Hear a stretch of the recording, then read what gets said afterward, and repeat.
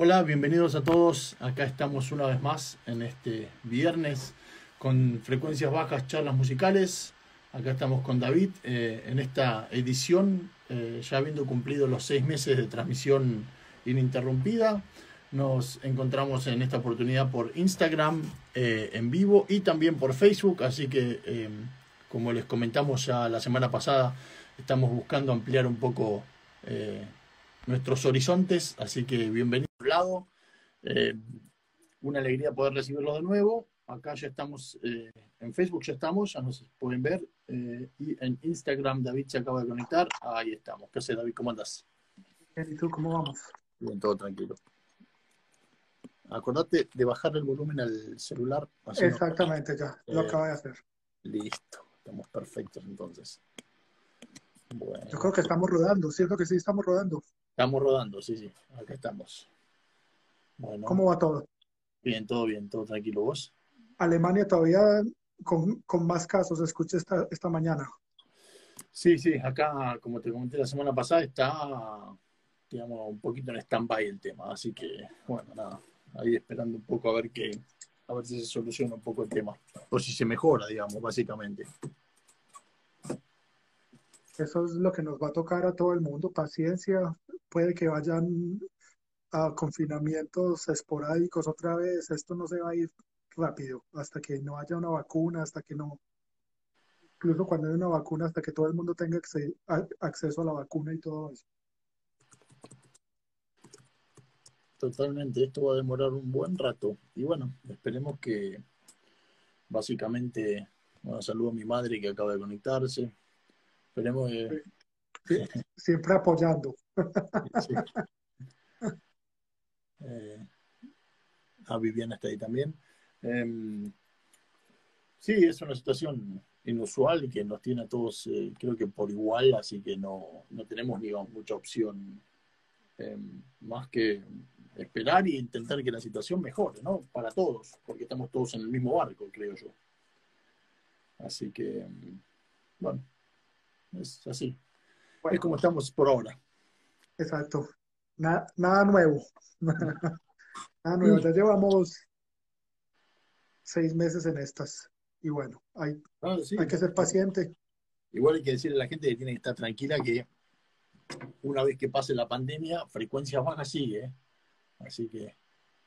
No se estresen mucho. bueno, Patricio, ya llevo. Esta es, esta es nuestra versión número 20, ¿qué? ¿Vos qué le llevas? Versión número 25. Y como siempre lo digo todos los viernes, vamos a entrar de un tema porque una hora se va volando. Ah, llevamos varios episodios hablando de, los procesos y la semana pasada tuvimos una conversación muy edificante acerca de, los diferentes procesos y de tener ah, la información correcta y de, y, de sobre todo practicar la paciencia. Ah, habíamos dicho que estos procesos la mayoría de las personas o muchos músicos los abandonan por impaciencia o se empiezan a saltar pasos por impaciencia. Desde que uno quiere tocar con la mejor ah, técnica posible, uno quiere tocar lo más fácil posible, uno quiere tocar el repertorio más difícil que hay, uno quiere ser proficiente en su instrumento, pero muchas veces cometemos muchos errores a la hora de, a la hora de practicar. Ah, recuerdo mucho un artículo que una vez traduje, un artículo que una vez leí, que muchos, muchos de nosotros, incluyéndome a mí, ah, lo hablo desde el punto de vista del músico que está aprendiendo, nos convertimos de, de repente cuando estamos en el escenario, nos, convertimos en, en, en también el evaluador de lo que estamos tocando. Y el artículo decía que uno tiene que ser el evaluador de lo que uno está tocando, pero en el salón de práctica. Y una vez uno ya está en el escenario, obviamente se supone que uno ya evaluó todo su, todo su proceso de práctica en, en, el, en, el, en el, salón de estudio y ya está en el escenario tocando. Ah, recuerdo una vez que tuve un recital más bien, regular para mi gusto.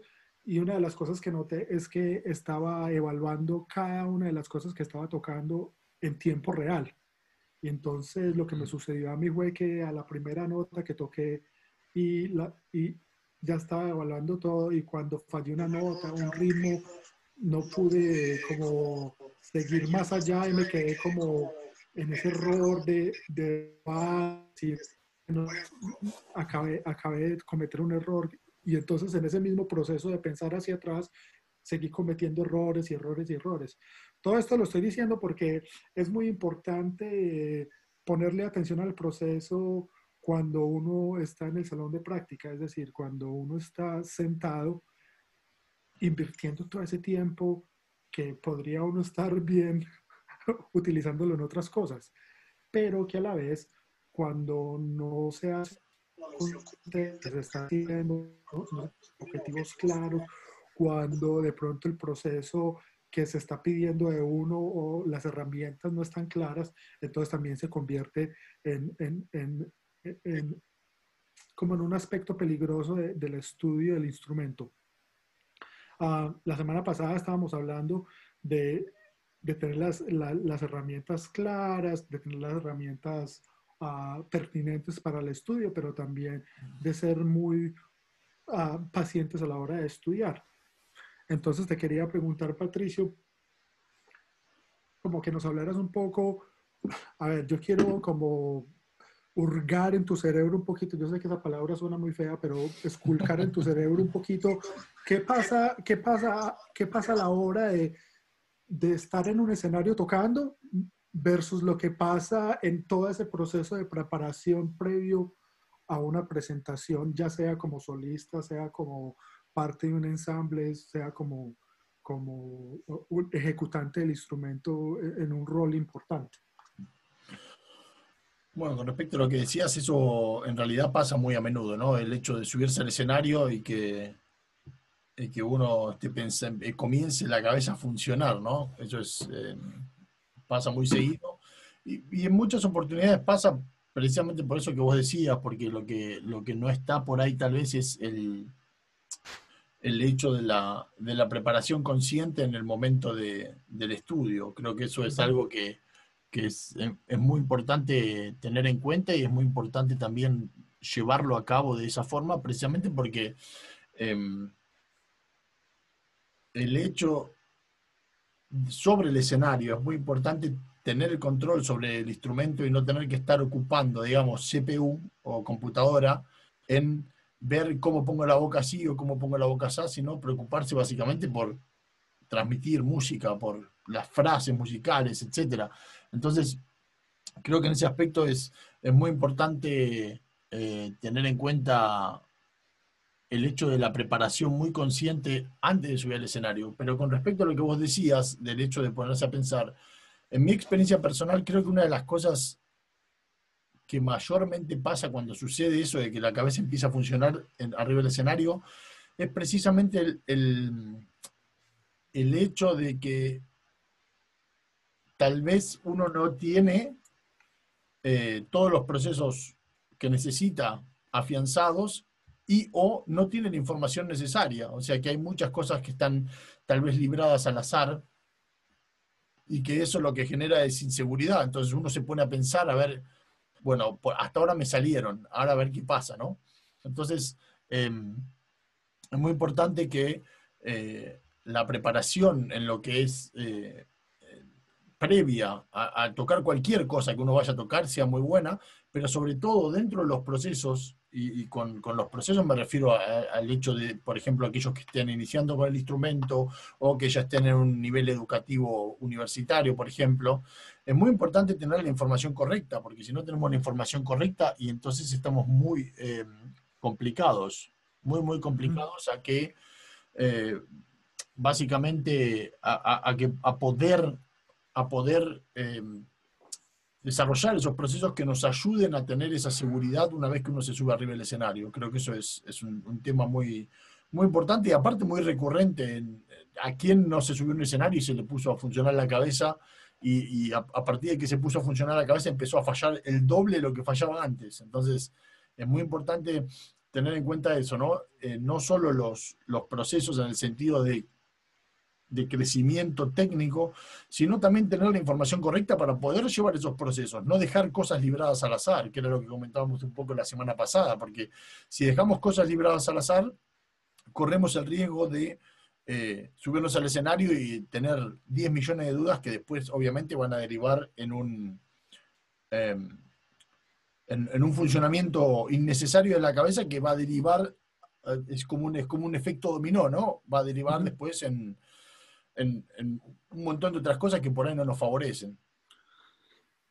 Bueno, e, e, el Instagram mío está como revelado el día de hoy, no sé si... Sí, es, el internet estaba medio flojo. No, no sé si, Sí, bueno, es que creo que es la aplicación en sí, porque de resto estoy aquí conectado muy bien. Ok, la aplicación la, actualizaron, de hecho. Yo vi hoy y han cambiado algunas cosas. Bueno, probamos de nuevo, David. Tranquilo, busca ahí, dale al botón y vamos intentando para que la gente que está en Instagram pueda seguir viéndote. Aquí está. Aquí está, listo. Intentemos otra vez. Vámonos, yo te mandé la invitación. Sí, con, respecto a tu pregunta, creo que ese es un, tema muy, muy importante, ¿no? El hecho de, Mi impresión personal es, es que, como decía la, semana pasada, los turistas dejamos muchas cosas libradas al azar y cuando nos subimos al escenario, después la cabeza, viste, hace lo que puede. No tenemos una capacidad a ese nivel como para decir, bueno, voy apuntándole los procesos a ver cómo salen y, si no salen, los soluciono arriba del escenario, porque no funciona. Porque son, en muchos casos son procesos mecánicos, son procesos de memoria muscular. Entonces, si, si esa memoria muscular no está entrenada correctamente, bueno, entonces voy a tener un problemón arriba del escenario, mucho más grave. ¿Por qué? Porque en el momento en que no, en que no va, no va. Sí, exactamente. Yo tengo bueno, mientras que tenemos problemas con el Instagram, no entiendo qué está pasando, pero aquí, si vos estás todavía en Instagram, le puedes transmitir la, la, pregunta a los, a los que están todavía conectados. Y es, cuando, ¿cómo hacer, Patricio, a la hora de, a la hora de prepararse, a la hora de prepararse, qué hacer con el proceso para evitar que, que en el escenario uno se convierta en un tren de nervios, que en el escenario uno esté, que a la hora de ejecutar el instrumento uno, uno disminuya como porcentualmente la, posibilidad de, estrellarse en el escenario. Ah, lo digo porque en experiencia propia, cuando yo digo algo así como, ah, eso sale mañana en el recital, ah, no sale mañana. O sea, nunca, nunca ha salido. O sea, son pocas las posibilidades de, arreglar algo que, no, que uno no pudo arreglar en el salón de clase, de arreglarlo en el escenario. sí, sí, entiendo, tal, cual, lo que decís, sí. ¿Cómo es ese proceso a la hora de preparar, de prepararnos, sea para un examen, sea para una audición, sea para un recital? ¿Qué es lo que vos recomendás y, cómo manejas tu preparación personal para que, para, para que tocar no se convierta en una carga. Ah, hablaba yo en alguna ocasión de que se, se, empieza uno a pegar tanto contra la pared que eh, es muy lógico desanimarse, es muy lógico no seguir ah, como con las mismas ganas de, de mejorar. Ah, y a pesar de que uno cree que uno ha invertido mucho tiempo, a pesar de que uno cree que está haciendo las cosas correctas, las cosas no funcionan cómo hacer para, para identificar esas, esas advertencias, esos, esos signos de peligro y, poder, y poder empezar a romper barreras y poder empezar a escalar esos, e, esas barreras que, normalmente uno tiene como instrumentista. Y lo digo porque allí también hablábamos de que incluso los mejores ah, músicos, los más consagrados, todavía proceso de, sobrepasar obstáculos? Bueno, yo creo, bueno, para los que están viendo por Instagram, eh, David preguntó cómo, cómo poder eh, llevar a cabo eh, una... Oh, ahora sí, se fue. Se, Se fue directamente, pero bueno, ahora vuelvo a colocarlo y... El Instagram está raro hoy, ¿no? Puede ser, ahora vuelvo a colocarlo, no te preocupes y vamos con eso. Dame un segundo, total, eh, acá en Facebook tenemos un poquito más de flexibilidad. Sí, no sé por qué está tan mal el Instagram, la verdad. Habrá mucha gente conectada al mismo tiempo. Todo el mundo está en Instagram y en Facebook. Todo el mundo está transmitiendo en simultáneo. Claro, es que es el, hoy es el prime time, el viernes. Y además la selección Colombia juega hoy a las 3, y media de la tarde. ¿Contra quién juegan? Contra Uruguay, partido difícil. Bueno, como todos los partidos en la, en la eliminatoria suramericana. Bueno, yo estoy entrando. Uh, contra Uruguay la van a tener fulera. ¿eh? Nosotros jugamos ayer contra Paraguay y empatamos 1 a 1. Siempre ha sido difícil jugar contra. Uf, Uruguay es durísimo. Contra Uruguay. Bueno, estoy, ¿eh? ¿Me encontraste? Sí, te encontré. Muy bien, ahí vas. Perfecto. Bueno, muy bien. Ahí vamos entrando. A ver si Instagram se comporta.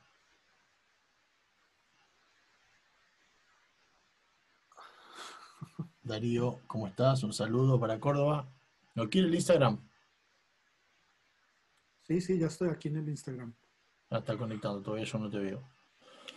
Bueno, con, respecto a la, David hizo la pregunta de cómo em, poder subirse al escenario y tener una, básicamente una, una solidez necesaria como para no, no, primero no sentirse sobre, sobrellevado por la situación de estar, enfrentarse a un escenario, de enfrentarse a un público, y segundo, eh, cuáles son los aspectos eh, que yo tengo en cuenta a la hora de mi preparación para preparar un, concierto, un recital.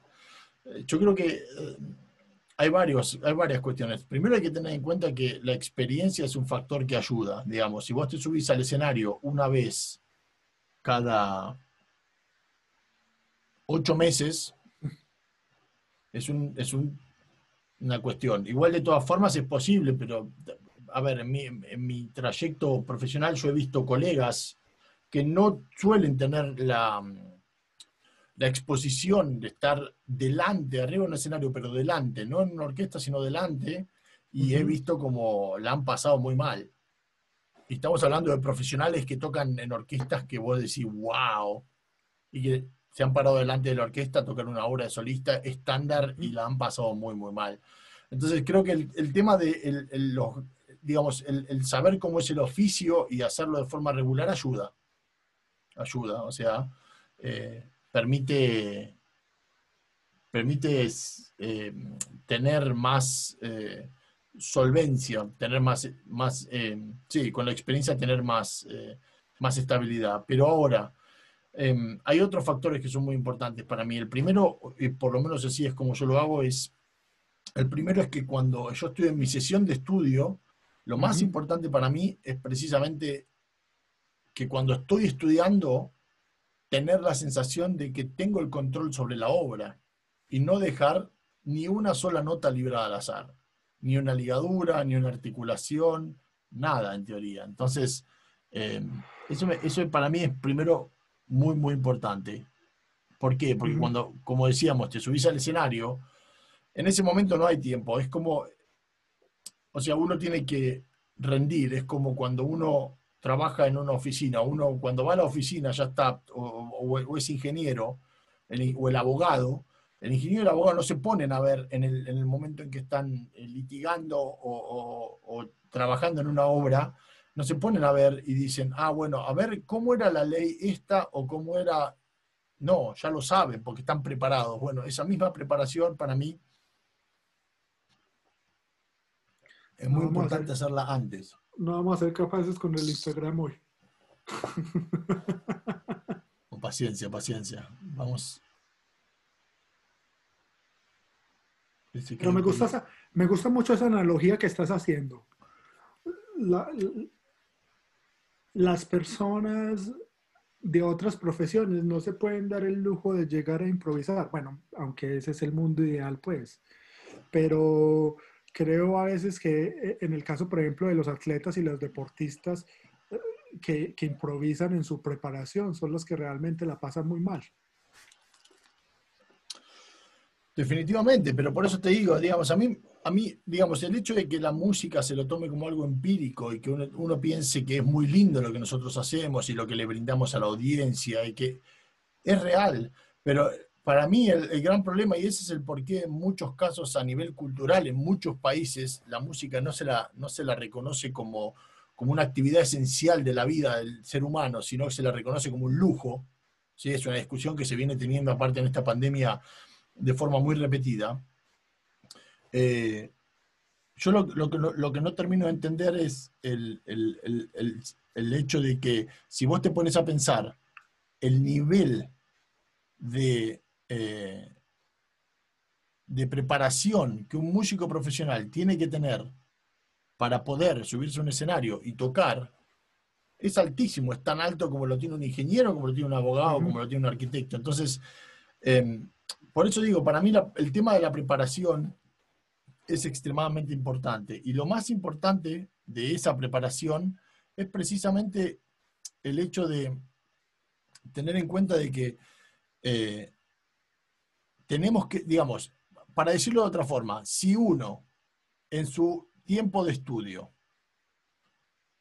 está preparando un concierto, una obra, un recital, lo que fuera que esté preparando, y no tiene la sensación de que en el momento en que lo está estudiando siente que lo puede tocar, entonces está. No sé, entonces no va a funcionar. Pero entonces mi pregunta, y, se la puedes transmitir a los de Instagram mientras que miro a ver si, si me puedo conectar otra vez, es en la preparación, en la vida diaria, o sea, cuando yo estoy, a ver, una de las cosas que yo siempre he dicho es que uno tiene el profesor por una hora solamente, pero el resto de la semana es uno solo tratando de desarrollar ciertas habilidades. Ah, ¿cómo, ¿Cómo pensar esa preparación para que para evitar frustraciones y, sobre todo para evitar malos, malas experiencias. He conocido casos de gente que ha desarrollado enfermedades ah, a la hora de tocar porque no son, pues puede, algunas, pues, algunas veces puede ser librado al azar, otras veces puede ser producto de un mal entrenamiento, como, como se lesionan los deportistas de alto rendimiento si no tienen, uh, si no hacen el, entrenamiento adecuado y, con la información necesaria. ¿Cómo, cómo prepararse? ¿Cómo, cómo te quiero preguntar cómo es ese día a día cuando uno está solo, cuando uno, cuando uno, cuando uno se está preparando realmente. Bueno, tiene mucho que ver, eh, en mi opinión, con, con, lo que vos tenés en información para poder desarrollar esos procesos que te van a ayudar a avanzar. El día a día tiene mucho que ver con, eh, tiene muchas partes, digamos. Una de ellas es, por ejemplo, eh, la parte mecánica, digamos, la parte técnica en sí, el hecho de sentarse y eh, trabajar un aspecto mecánico que por ahí es necesario hacerlo de forma cotidiana, precisamente porque uno necesita esa repetición constante.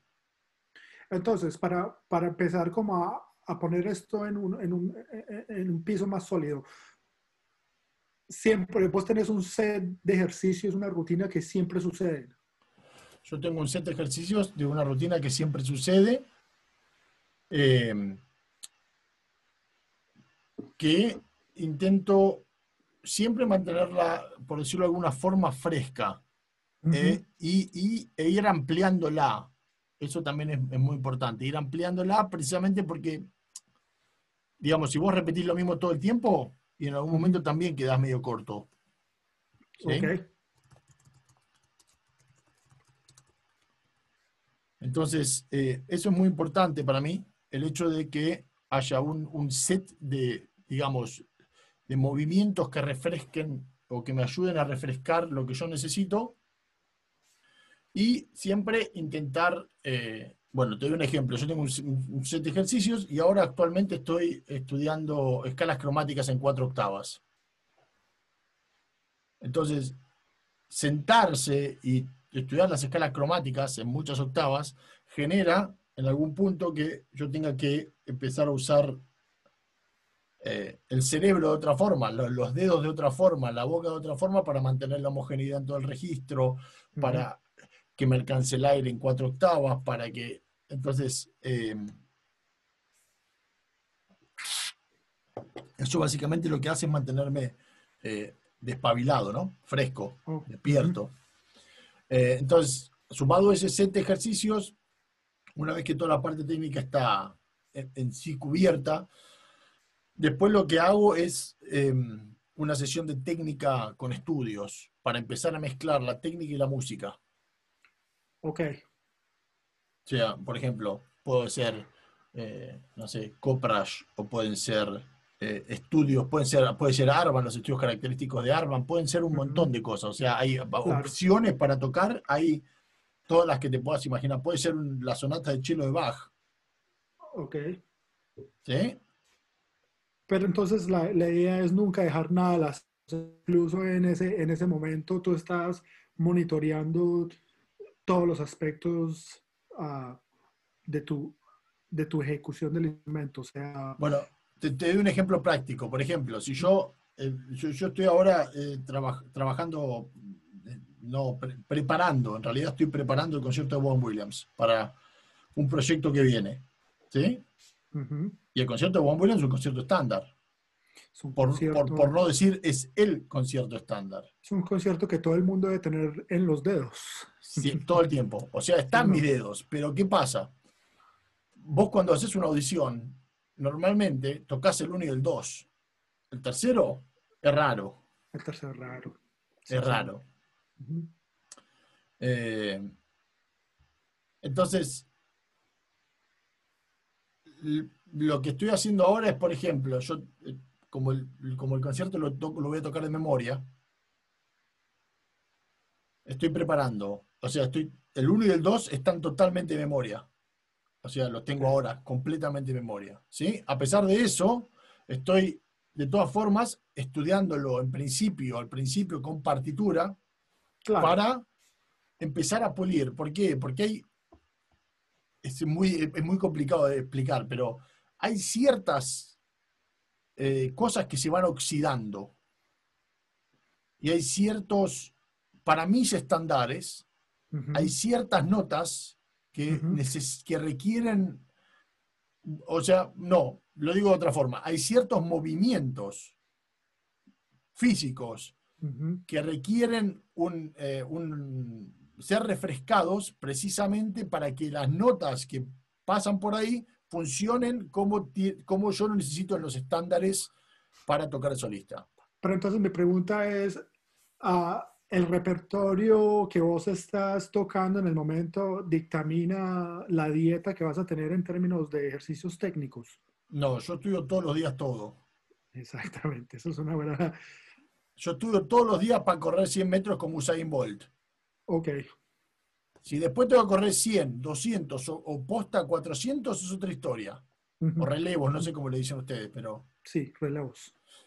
Es otra historia, pero, pero yo estudio para correr todos los días 100 a toda velocidad. Entonces, indistinto que lo que venga. Pero después, lo que hago es todo ese, ese compendio de técnica que tengo preparado, lo aplico a las distintas necesidades. Es como si un ingeniero fuera a construir, en vez de una represa, va a construir una planta eléctrica. ¿Sí? Entonces, para la represa necesita un set de cosas y para la planta, pero sigue siendo un ingeniero. Claro. Si el tipo sigue teniendo el mismo set de habilidades que tiene para las dos cosas. No es lo mismo estudiar o tocar el concierto de Bob Williams que tocar el concierto de Rutunian o que tocar la sonatina de Jean o sea, varía.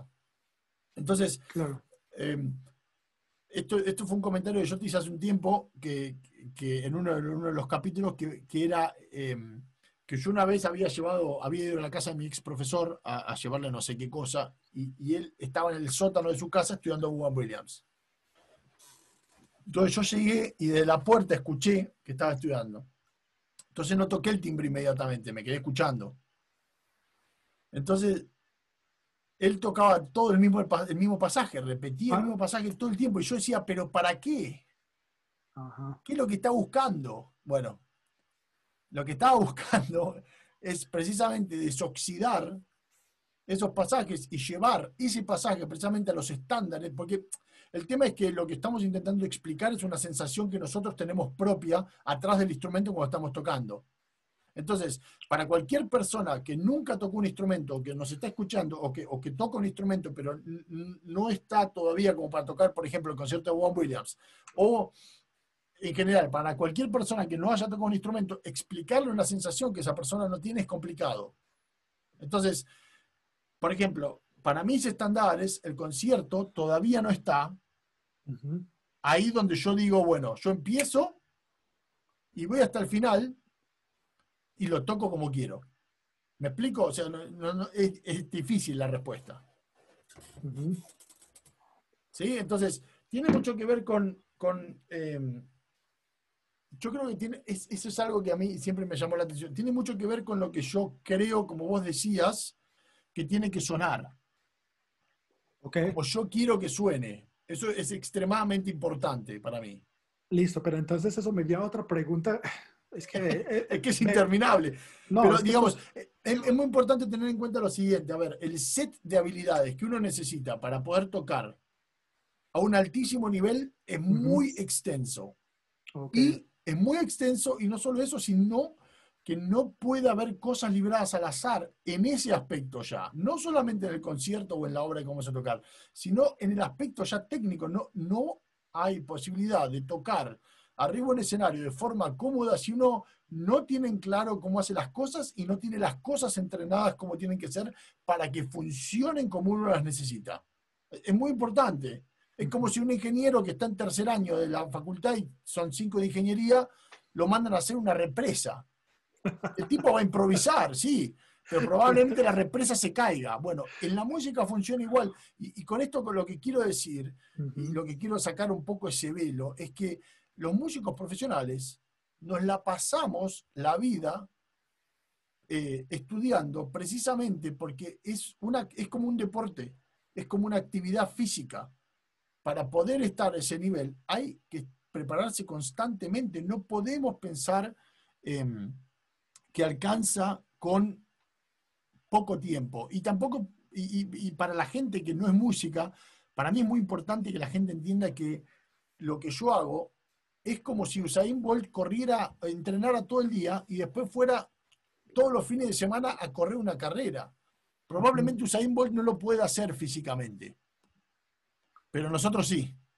Y ahí es donde radica la magia de la música. Exactamente. Entonces esa es otra pregunta que te quería hacer porque hay mucha información por ahí diciéndole a uno que no, que uno no, que, que uno no lo puede sobreactuar, que uno tiene que descansar y yo obviamente estoy de acuerdo que cuando uno está cansado uno tiene que tomar breaks, pero también se ha llevado al extremo de que entonces la gente, o sea, ese, ese, ese tema de, de, cuánto tiempo se debe practicar y todo eso ah, pasa entonces a un segundo plano cuando uno tiene una idea clara de qué es lo que tiene que estar trabajando y lo otro que te iba a decir es que, de acuerdo a lo que tú, vos nos estás diciendo, uno se tiene que entrenar para correr la larga distancia. ¿Sí me entendés? O sea, sí, totalmente. Pero, a ver, eh, a ver. A, mí, a mí hay, cosas que a veces me, me, quiebran un poco la cabeza. Obviamente ahora, actualmente, aprendí a controlar mis... yo, me pongo, yo me pongo, yo soy muy pasional en este tema. Eso a veces me llama a mí me pongo loco. Eso es lo que llama ir madurando en la vida, Patricio. exactamente. si hubiéramos hecho este programa probablemente hace 10 años, hubiera terminado diferente a lo que estamos hoy. Eh, pero. Eh, ah, no, pero, pero, a ver, eh, yo, yo me lo. Porque para mí esto, para, mí esto es mi vida. O sea, yo, para, yo me lo tomo de forma muy pasional, porque especialmente porque lo vivo de la misma forma. O sea, de la misma forma en la cual yo te hablo a vos, me siento a estudiar todos los días haya pandemia o no haya pandemia. Yo, en realidad, hace seis meses que no viajo, brother. Y yo me la pasaba arriba de un avión, ¿entendés? Entonces, sí. Eh, ahí está el tema. Y entonces, em,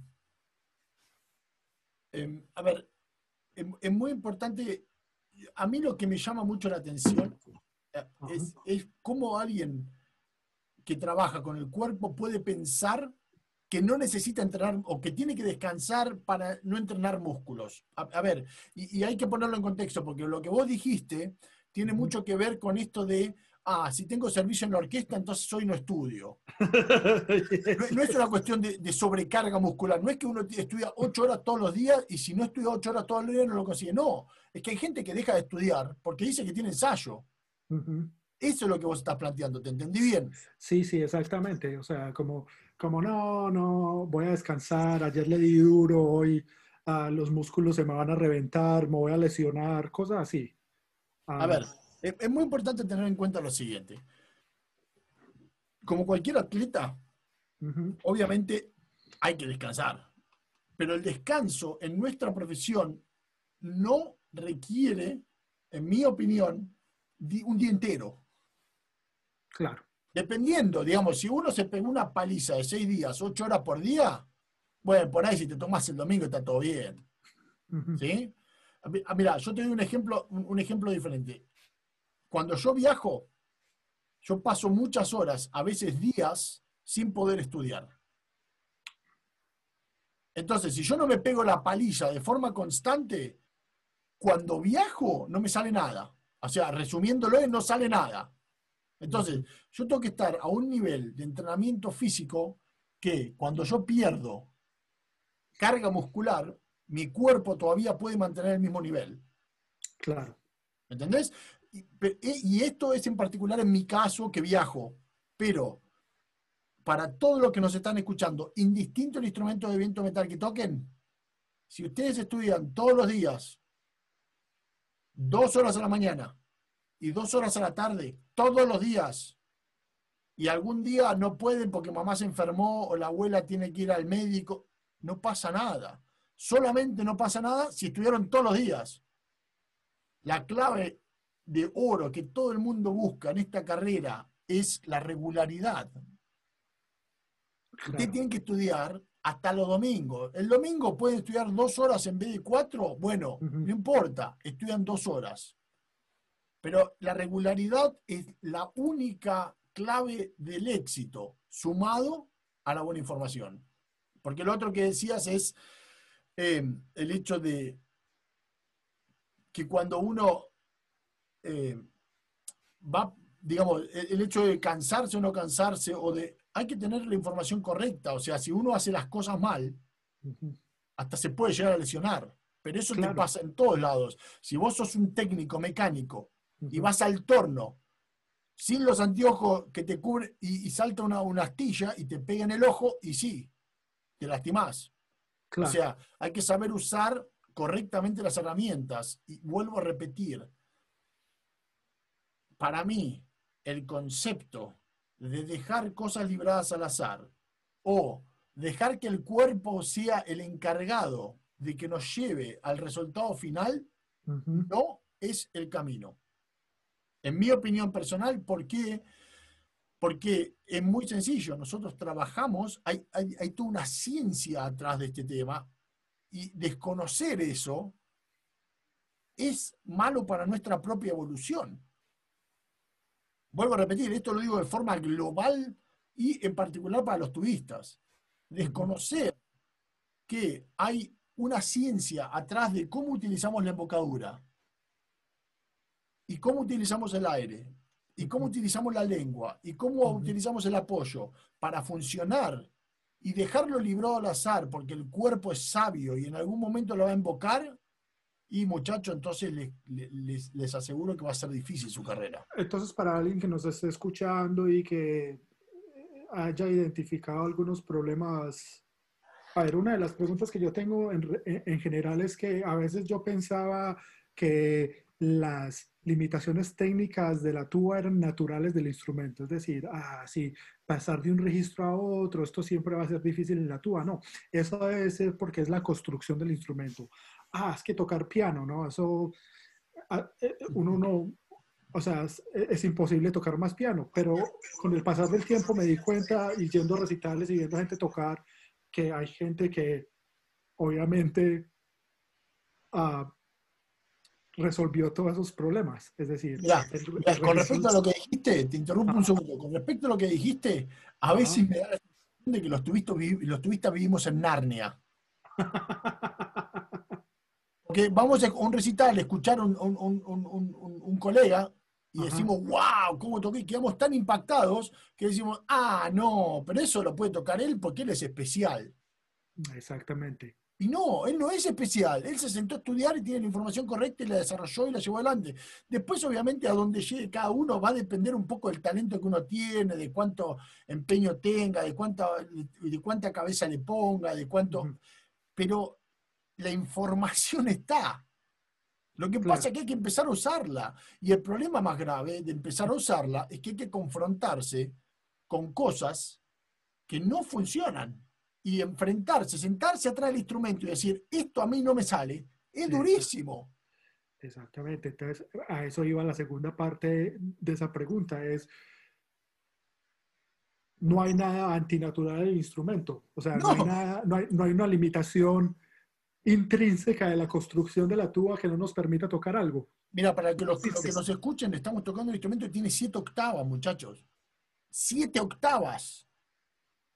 O sea, si el instrumento, si hay gente, hay seres humanos que pueden tocar siete octavas, entonces el instrumento puede cualquier cosa. Entonces, lo que hay que hacer es ver, ah, bueno, yo puedo una octava y media, bueno, entonces empezar a trabajar para llevarla, por ejemplo, a dos. Y seguir trabajando para después llevarla a dos y media, y así consecuentemente. Pero no quedarse con el, ah, mira, él toca, él toca siete octavas, ah, es porque, es porque es él. No, el instrumento puede. Lo que pasa es que hay que saber cómo. Exactamente, entonces muchas veces también empezamos a contar los ingredientes que faltan, falta de información. Y, también no, Ojo, eh, ojo, no sé si falta información. Yo, creo que la información que hay no es la adecuada. No sé si falta, porque información hay un montón. O sea, vos abrís YouTube y hoy en día con esto de la pandemia, vos vas a masterclass y todos los días si querés a festivales online todos los días, si querés. El tema es, a ver, y esto lo hablamos ya hace varias semanas atrás, el tema es el criterio que uno tiene. Por ejemplo, mira, yo te, vuelvo, revuelvo a mi caso porque eh, para mí es muy fácil volver a mi caso. Hablar de otra gente no, no, no me gusta. vuelvo a mi caso.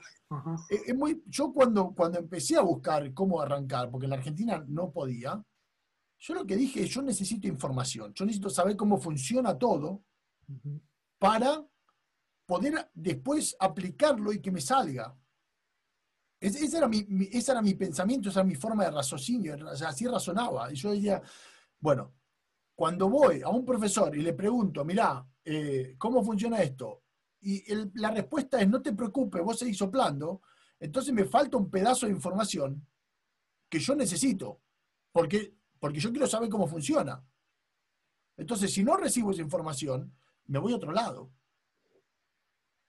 Lo que pasa es que primero hay que ponerse en esa posición. Primero, primero uno, uno como ser humano tiene que sentarse y decir, bueno, ¿qué es lo que yo quiero?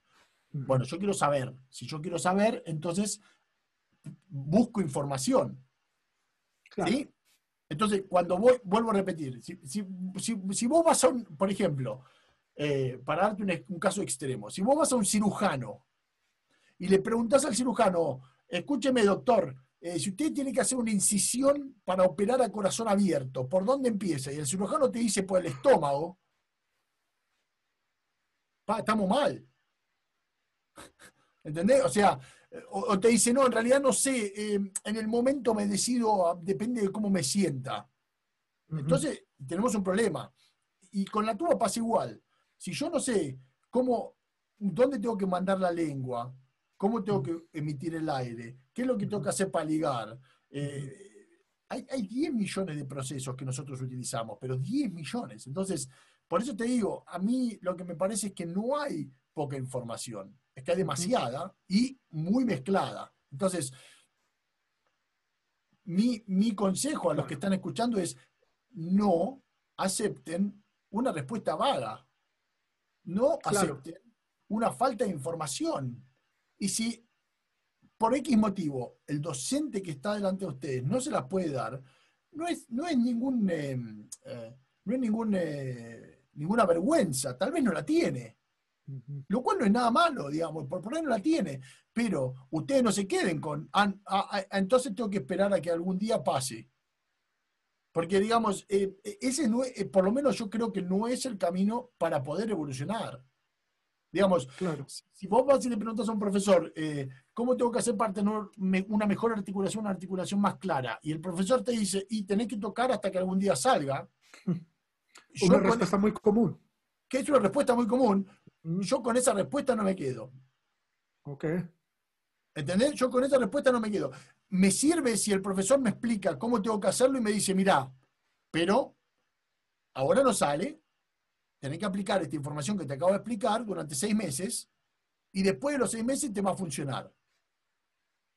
Pero es un proceso largo. Ahora, si no me explica cómo, entonces ahí sí tengo un problema. Ahí tengo un problema porque, digamos, eh, ¿cómo voy a hacer? Por arte de magia las cosas no suceden. Claro. Entonces, eh, en tu, eh, eh, en tu pensamiento, el instrumentista tiene que tener control sobre todo lo que está estudiando, es decir, saber cómo pasar de una nota a otra, saber cómo ir de un registro a otro, saber ah, las diferentes partes que inciden en la articulación, saber las diferentes partes que inciden a la hora de respirar. Sí, tiene que ser conocimiento mucho más profundo que solo la, la, información empírica que uno obtiene cuando lo hace.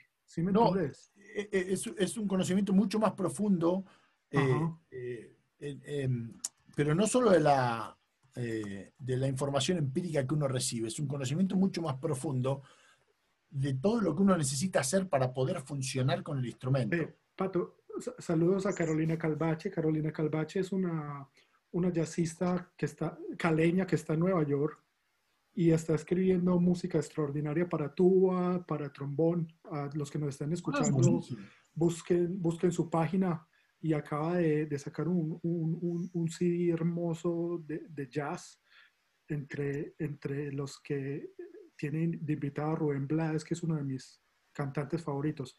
Pero tiene, tiene un repertorio muy interesante de tuba y de trombón bajo para los que están escuchando visiten su página uh, y, y, y, y, si pueden comprar su música, hombre, esta es la oportunidad. Y ayuda para, le ayuda a ella también.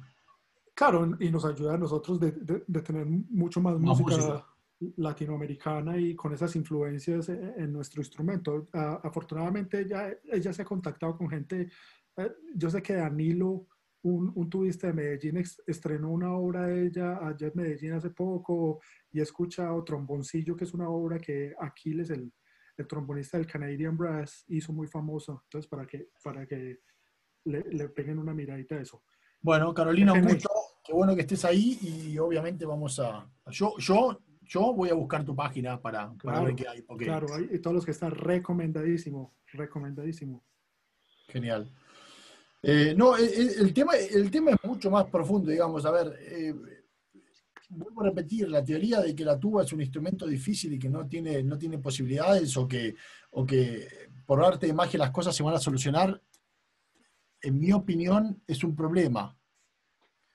En mi opinión, para el desarrollo de nuestro instrumento es un gran problema. Entonces, esto tiene mucho que ver con, con saber los procesos. Ahora, con respecto a lo que vos decís, probablemente la gente si está escuchando y dice, ah, pero ¿cómo, cómo, es, cómo es posible aplicar todo eso que es gigantesco? Exactamente. de, forma, conjunta, digamos. Hay una, hay una frase que hicieron aquí en Estados Unidos muy famosa, que es el, la parálisis por, el, por análisis, como... No, pero eso es otra cosa, la parálisis por análisis es otra cosa. Eso es cuando tenés una, una cantidad inmensa de información cruzada que nunca desarrollaste de forma paulatina y que no se puede aplicar al mismo tiempo. Es lógico, porque es imposible. Bueno, entonces aquí sirviendo de abogado del diablo, ¿cómo es eso diferente? Es decir, que uno tiene que tener control de todo lo que hace a la hora de tocar. uno tiene que tener control de todo lo que hace en la hora de tocar, es correcto, pero uno tiene que desarrollarlo primero. Uno, cuando, va, cuando vos vas a estudiar abogacía, no te dan todas las leyes del mundo y te dicen, bueno, andá, sentate, estudiarlas todas y cuando las tengas, volvé. O, tampoco te dicen, acá tenés, acá tenés las leyes, eh, andá a ser de abogado. O sea, uno va, uno va empieza, empieza a tragar, digamos. Y bueno, con los procesos, con los procesos, que es el tema que tenemos hoy, funciona igual. Digamos, yo te doy un ejemplo. En, mi concepción, si la embocadura no anda, el aire solo no te va a llevar a la meta. Entonces, si viene un alumno que toca y yo noto que necesita trabajo acá, entonces empiezo a trabajar ahí para que él tenga la base de ese lado sólida y pueda después ir agregando otras cosas. Ahora, para que la gente nos está escuchando, que no malentiendan, la embocadura sola tampoco suena. Eso es muy importante, hay que decirlo, porque digamos, la gente piensa que cuando uno habla de embocadura, eh, se olvida del aire. No, no. La embocadura tiene que funcionar bien y la embocadura puede funcionar solamente si el aire también funciona bien. Entonces, es un equipo, son dos componentes que lo que generan es un funcionamiento. ¿Sí? O sea, este el aire solo haciendo no funciona y la embocadura tampoco. Entonces, es un equipo de dos componentes. Ahora, si uno de los componentes está más flojo, y hay que apuntarle a ese, obviamente el otro no se descuida porque vuelvo a repetir, en el momento en que yo quiero vibrar los labios, ¿no? Para, probar que la, máscara está bien formada, que la embocadura funciona, tengo que respirar, si no, no funciona. O sea, punto. Es fácil. Entonces, una cosa va de la mano de la otra. Ahora, una vez que esto una vez que esto funciona junto con el aire, o sea, que, hay, una, que, hay, una, que hay un entrenamiento muscular y una comprensión y, eh, eh, una, una mejor solidez en el funcionamiento de cómo tiene que funcionar la embocadura con el aire, entonces a partir de ese momento yo puedo empezar, por ejemplo, a expandir el registro y buscar de que en todo el registro la embocadura funcione igual junto con el aire. ¿Sí?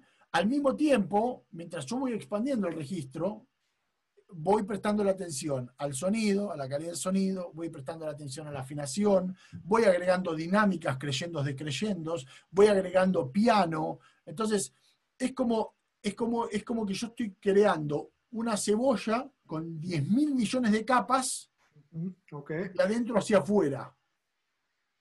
Entonces, cuando eso está terminado, entonces tengo el control sobre el instrumento.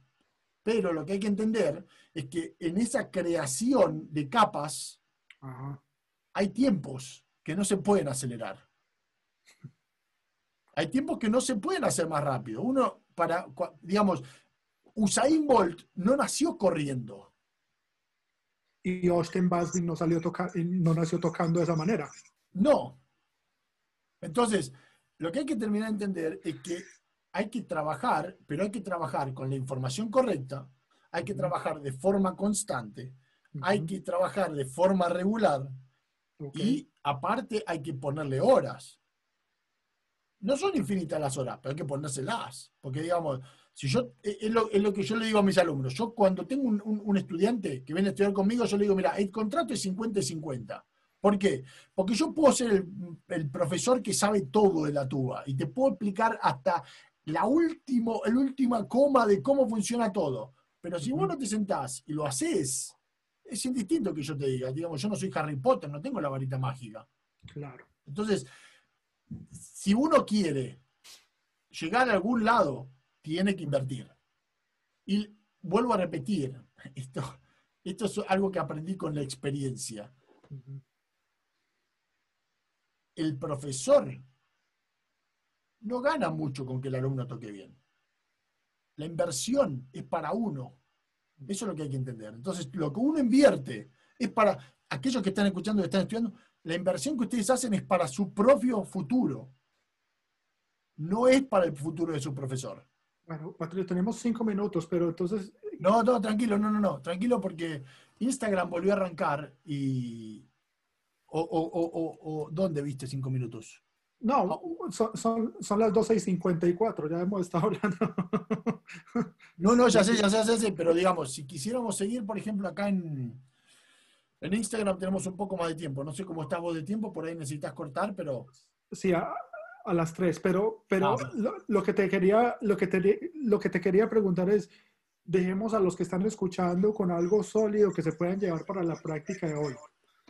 Cuando estén tomando el instrumento, hoy, vos como profesor, ¿qué le recomendarías hacer? O sea, no, no, no, a, no a nivel individual de que, ah, no, esta persona tiene problemas de embocadura, ni nada de eso, sino que cómo hacer para que el estudiante tenga un proceso mucho más crítico de lo que está haciendo. Es decir, que el estudiante mismo se convierta en ese evaluador que yo hablaba al principio, que es en el que se convierte uno cuando uno está tocando. ¿Cómo hacer para que, para que el estudiante sea su, su, su, su sí, su evaluador y que, y, que esto, y que esto de la práctica sea una cosa eficiente?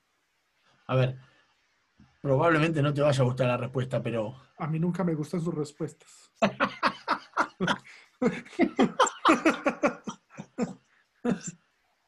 Bueno, es muy, en realidad es muy sencillo. Agarren un ejercicio que ustedes consideren que es fácil y tóquenlo. Pero tóquenlo teniendo en cuenta que tienen una sola oportunidad. Si no funciona, entonces no están ahí donde ustedes creen y eso es muy importante. Es, una respuesta de sí o no. ¿Puedo tocar todo? Sí. ¿Puedo tocar todo con, con lo que está escrito, con articulaciones, con dinámicas? todo. O sea, no, no, se puede empezar uno a decir, sí, pero en esta parte no. Que hay una sola oportunidad. Empiezo acá y va hasta el final. Si en el camino hay cosas que no funcionan o que no van, entonces entonces es la hora de empezar a hacer como un inventario de qué es lo que necesita uno estar trabajando, ¿cierto? Un análisis, un, análisis consciente de dónde, uno realmente está parado. Porque a veces nos engañamos a nosotros mismos. Engañarse a uno mismo es muy fácil. Engañarse a uno mismo es mi deporte favorito. Es muy sencillo. Entonces, el tema es, es, ese, ¿no? Es, es tener en cuenta que uno está, digamos, vuelvo a repetir, agarren un ejercicio que ustedes consideran que pueden tocar y tóquenlo de punta a punta. Si lo pueden tocar, genial. Pero de punta a punta y tienen una sola oportunidad. Y después nos cuentan a ver cómo les fue. Eso es una buena, eso es un buen ejercicio. Muy buen ejercicio. Porque a veces pensamos que estamos parados en un lado y estamos en realidad en otro. Entonces, es, eh, Claro, y por eso es que cuando tenemos una mala audición o un mal recital empezamos a, a, culpar a, agentes extraños. Ah, es que, es que estaba muy fría la habitación. Ah, es que el pianista entró donde no era.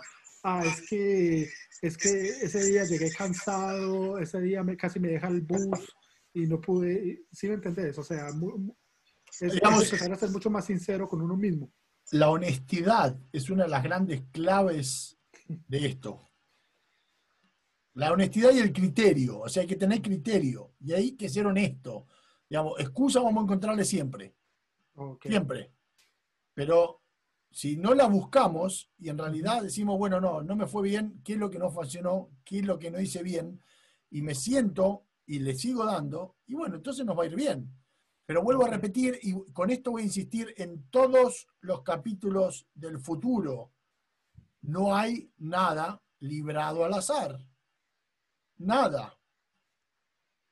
Absolutamente nada. Si ustedes quieren tocar a un alto nivel la tuba o cualquier instrumento de metal, no hay nada librado al azar. Tienen que invertir. Y es muy importante. Entonces, em, no busquen magia. Trabajen, porque es el único camino. Exactamente. Yo creo que esto es un, un buen punto para dejar la conversación de hoy. Igual entre ocho días estaremos, ojalá que tengamos mucho más suerte con el Instagram, no sé qué habrá sucedido y definitivamente creo que fue la plataforma, pero uh, entre ocho días nos vemos y seguimos desarrollando este tipo de temas, Patricio. ¿Qué te parece? Me parece perfecto. Eh, agradecer de nuevo a todos los que están presentes. Bueno, en esta oportunidad, eh, por, primera vez en, en, Facebook y, y, en Instagram, aquellos que se reconectaron, muchas gracias. No olviden seguirnos eh, en Instagram, en Facebook, eh, mandarnos sus preguntas, sus comentarios. Siempre es muy importante para nosotros eh, tener el feedback que, ustedes mismos nos dan eh, semana a semana y que nos ayuda también, obviamente, a, seguir adelante. Y no, no, duden en dejarnos temas, en comentar, en, enviarnos eh, cosas que ustedes quieran saber o que les interese o que por ahí en, dentro de las charlas no les hayan quedado claras o, o, si, o, las charlas funcionaron como disparador para que, eso, que esa pregunta apareciera. Entonces, no duden en escribirnos cuando gusten y nosotros encantados de poder compartir. Claro. Una, una, de las metas es que al terminar este tipo de conversaciones uno se vaya para el salón de práctica y empiece a pensar en esa voz argentina metida en el cerebro diciéndole, estás sentado bien, estás respirando bien, está la embocadura bien.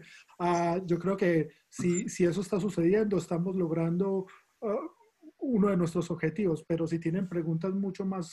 Uh, más específicas, por favor escríbanos que nos importa mucho para, para el material de, de, nuestras charlas. O no son específicas, tal vez son preguntas más sencillas que uno por ahí no se anima a hacer, pero Exacto, las preguntas importantes. Las preguntas que nadie hace porque todo el mundo cree que se las sabe. bueno, Patricio, muchas gracias, hermano, por tu tiempo. Siempre aprecio, hermano, que, que, que estés dispuesto como a compartir tus experiencias y bueno, nos vemos entre ocho días. Eso es, David. Gracias a vos por el tiempo. Para los que no saben, David se va a trabajar ahora, así que por eso está, entre. sacrificó su almuerzo para ir a trabajar, así que para que entiendan los malabares que tenemos que hacer para que esto funcione. Así que bueno, gracias a vos y nos vemos la semana que viene. Nos vemos, Patricia. Hasta luego.